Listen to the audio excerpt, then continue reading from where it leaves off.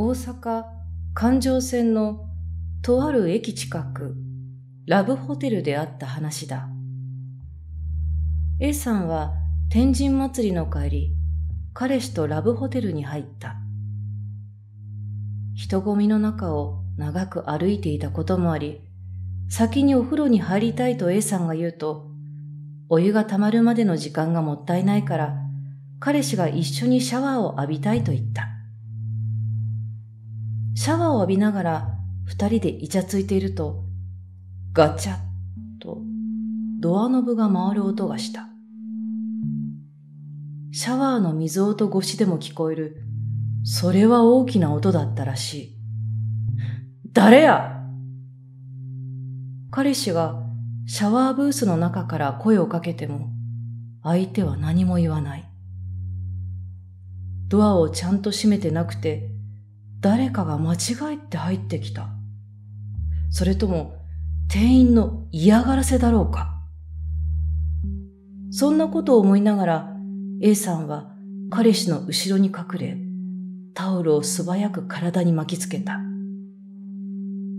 ごそごそっと人の気配がし続けていたので、シャワー入っているところを見計らって入ってきた泥棒かもしれへん。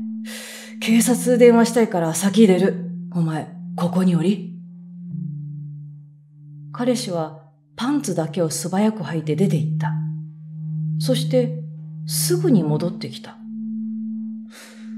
誰もおらんかった。扉の立て付け悪いんか。ここ壁薄いんかな隣のお部屋の音が聞こえてきただけかもしれへん。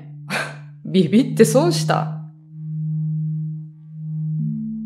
再びシャワーを浴びてからベッドに腰掛けると、ガチャッとドアノブが回って入り口のドアが開いた。二人してドアの方に顔を向けると、グレーのスーツ姿の男が入ってきた。なんやお前彼氏が怒鳴ると、スーツ姿の男は、小さな声で謝り、スタスタと歩いて、トイレに入っていった。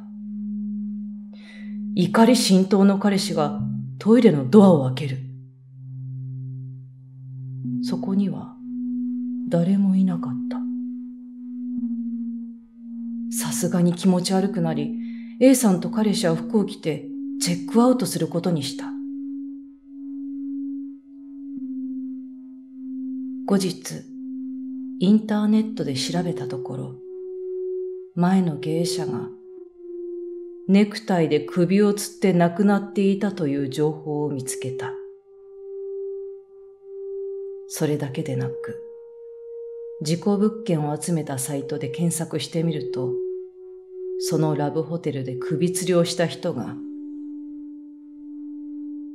何人もいた。